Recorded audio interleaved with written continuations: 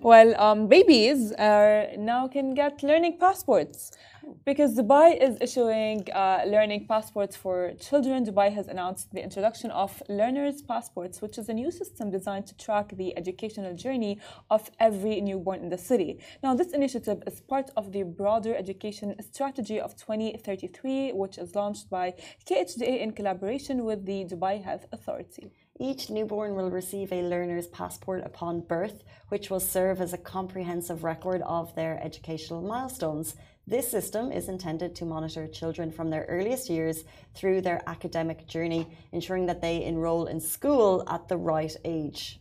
Now, the Learner's Passport is part of the educational strategy of 2033, focusing on raising parental awareness, enhancing teacher training, diversifying educational options, and as well strengthening the Arabic language and cultural heritage in Dubai.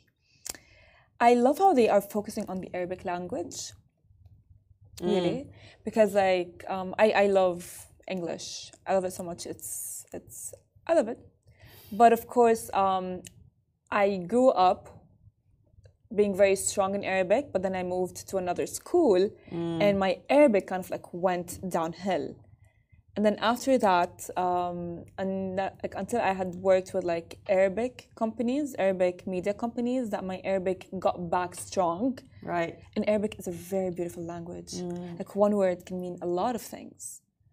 I love the phrases that you teach me, but I I know what you mean in terms of I love my ability to be able to speak Irish. Um, however, I I have a I'm a I used to be fluent because I went to an all Irish school, but that, there's only small pockets Yeah. of the country that really speak Irish.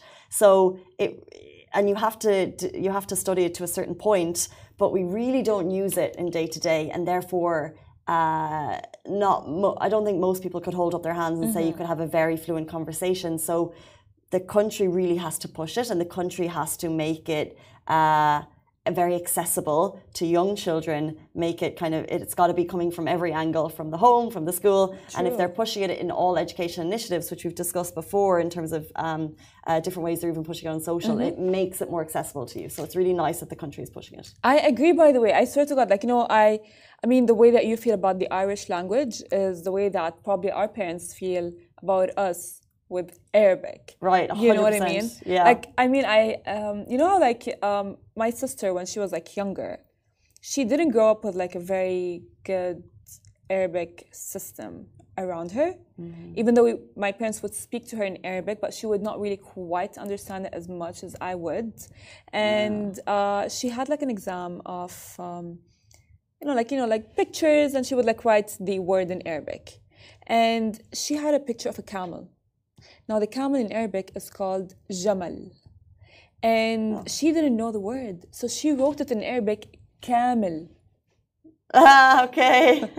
You know what I mean? It's it's, Yeah. it's, kind, it's that kind of like confusion. but so she, you spoke Arabic at home with your family always? Uh, no. No. I mean, I spoke with my family Arabic, and my family kind of like they um raised me in a way that you know like Arabic is your first language, and you need to like know it. It's very important, and I like I, I learned it. I I did. You know, I was very like strong. I as well. I had a very good foundation because like I remember my Arabic teacher. She was very like strong with Arabic and teaching Arabic. She was very passionate. Um, however, my sister, on the other hand, you know, like it's she's like the second child. They don't like really. They oh yeah, you can do whatever you want. You can speak whatever you want. You can if you like the language. Sure, if you don't, sure.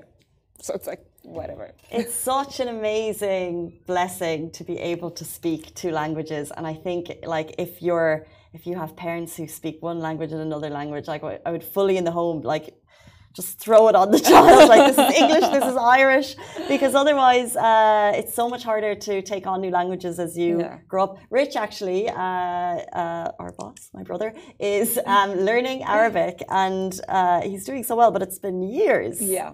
Because Arabic is a very hard language. You know, for example, and like it's so different to what we grew up, which was the Latin side of the world languages. Exactly, hundred percent. You know, and as well, like you know, there's like difference between like casual Arabic and Fusha Arabic.